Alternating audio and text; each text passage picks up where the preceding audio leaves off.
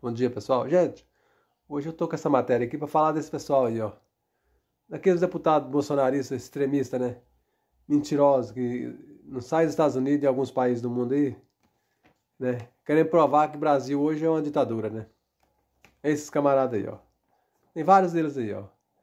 E tá faltando alguns aí, sabe? Mas essa turma aí eu vou falar os nomes deles que tá aí agora pra vocês. Tá? Isso é uma matéria, viu, gente? No final vou dizer de quem é que é essa matéria para poder não mexer o saco e falar que eu estou inventando. Tá? Então, né, gente? Estão aí nessa foto. Nos Estados Unidos, né? Diz eles, né, que está denunciando a ditadura no Brasil, né, gente?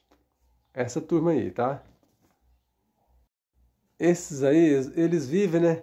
De abastar, né? O conceito de, de liberdade de expressão, né, gente? Para, né? Dar cabo, né?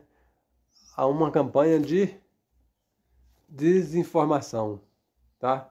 Eles ficam desinformando que o Brasil é uma ditadura, que o Brasil é aquilo, aquilo outro, que o Lula é um ditador, que o Lula acabou com a democracia, que o Xandão é um ditador, prende quem todo mundo, faz a lei que ele quer. Então eles ficam com essas balela aí, né? Pelo mundo e ninguém dá moral para eles mais. Alguns deputados extremistas que ainda dá moral para eles, mas ninguém dá nem ideia para eles mais não. A ideia deles, né, gente, é de desqualificação né, de adversário, gente.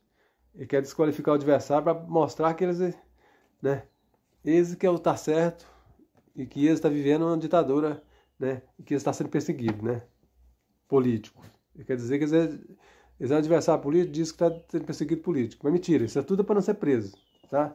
Para não responder na justiça pelo golpe do 8, do 8 de janeiro, né, de 2023, que eles tentou dar um golpe no estado, do estado no país e agora eles estão tentando cair fora da cadeia, né? Mas vai todo mundo pra cadeia. O que tiver de ir, vai. Inclusive o patrão deles que é o Bolsonaro. Tá? Tem uma turma aí pra ir pra cadeia aí. Então a ideia deles é que essas, essas narquias deles viajar pro mundo né? É de instituições né, democráticas, né? Eles querem né, que a democracia no Brasil vai pro pau. E isso que fica de bom, né? Então, gente, agora eu vou falar o nome desses caras pra vocês aí. Tá? O nome de quem tava lá nessa última viagem deles. Eduardo Bolsonaro, né? Que é o filho do Bozoloide. Bia Kises, né? Nicolas Ferreira, tá? Gustavo Gaia, aquele de Goiás, aquele que matou gente já com a cara cheia de cachaça no trânsito, né? Gustavo Gaia. Marcos Polon, Felipe Barros, tudo deputado, gente. E Eduardo Girão. Não sei se tem, tem dois deputados lá, tem um deputado e um senador com esse nome, não sei qual que foi se é o senador Girão ou se é Eduardo Girão, um deputado. Eduardo Girão estava lá, né? Cabo Gilberto Silva e Rodrigo Valadares. Essa turma estava lá mentindo que o Brasil hoje é uma ditadura. Só gente mentirosa, gente. Só gente mentirosa que não tem projeto de país, fica só inventando moda, né? E passando vergonha fora do Brasil. Porque você está passando vergonha lá fora. E com dinheiro público, hein, gente? O Arthur Lira tinha que dar explicação, né? Desse dinheiro que tá da, da Câmara, que tá pagando diário, esses caras viajar pro mundo para mentir, né? E aplicar. Mentir, denunciar o Brasil lá fora, como o Brasil fosse um país de ditadura. Então, gente, isso aqui é uma, é uma matéria, viu? Quem escreveu essa matéria aqui foi o Estadão, tá? Jornal Estadão, tá bom?